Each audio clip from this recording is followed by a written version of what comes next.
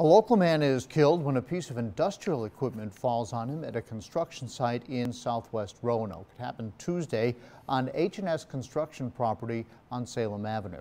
10 News reporter Rachel Lucas has details on the investigation.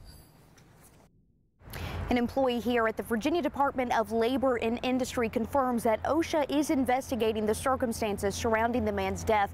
At this point, it's been considered an industrial accident. Although investigators have not released his name, a friend confirmed to 10 News that 54 year old Claude Surrey Jr. was the man killed Tuesday morning while on the job for his employer, Vise Truck and Tractor Repair, which operates out of Floyd County and Salem. While many details aren't being released about the accident, the Virginia Occupational Safety and Health investigator confirmed a piece of industrial equipment fell on Surrey while on property owned by H&S Construction. A co-worker who spoke to 10 News off camera says Surrey was planning to retire in two years to work his family farm in Catawba. More details won't be released by the state until the investigation is complete.